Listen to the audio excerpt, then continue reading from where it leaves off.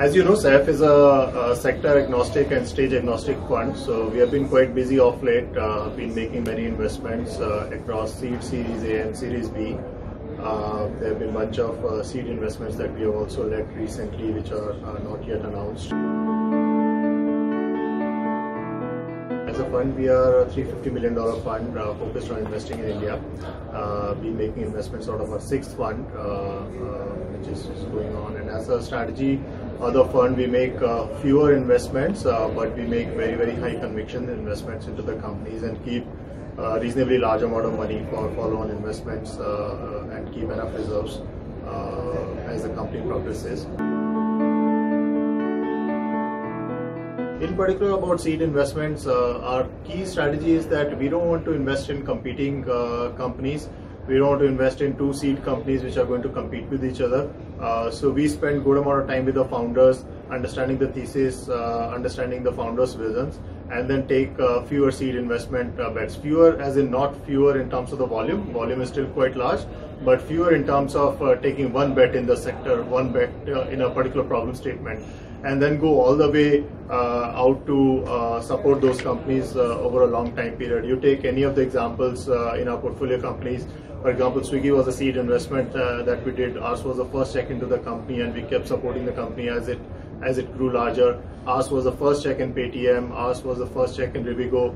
Uh, ours was uh, uh, almost the first seed seed check in ShareChat as well. So as a fund, uh, uh, we are a we are a fund of people who who are very uh, down to earth uh, people, and they do a lot of hard work. Our team is all about hustling, hard work, understanding the sectors to very very deep levels. Uh, all of us uh, at the partner and principal level, we focus on fewer sectors. everyone has got some specialization area or the other. And what it really allows us is that every partner ends up building a very deep specific knowledge or insights about a particular sector that he or she works on. And that results in us taking uh, investment decisions which are not conventional. Uh, so, for example, when we invested in ShareChat, there was no Jio, uh, there was no chart of vernacular content, there was no chart of uh, video being a big deal in India. But we made that investment uh, because we could understand that uh, this is something that will actually be a common need for the Indian users as the internet ecosystem grows and becomes deeper.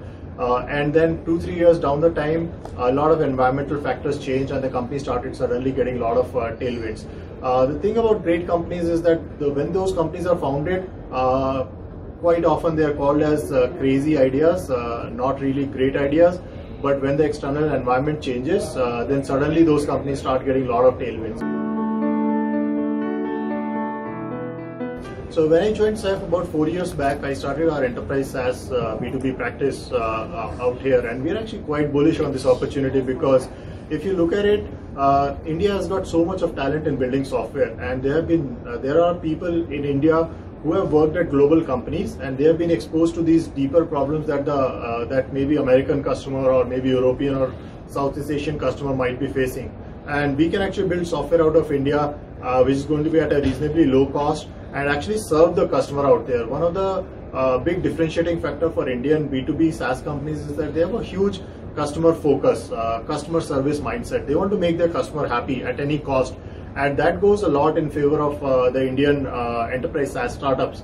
Uh, we are actually quite bullish on this uh, this practice. We invested in a company called Goodera where we led Series B early last year. We invested in a company called Haber, which is a very innovative AI enterprise tech SaaS company. Uh, we invested in a logistics SaaS company called FarEye, and we have got a bunch of other companies uh, in in the same sector of enterprise SaaS. So we have got a fairly large portfolio in this space, and and uh, quite, bullish uh, going forward as well.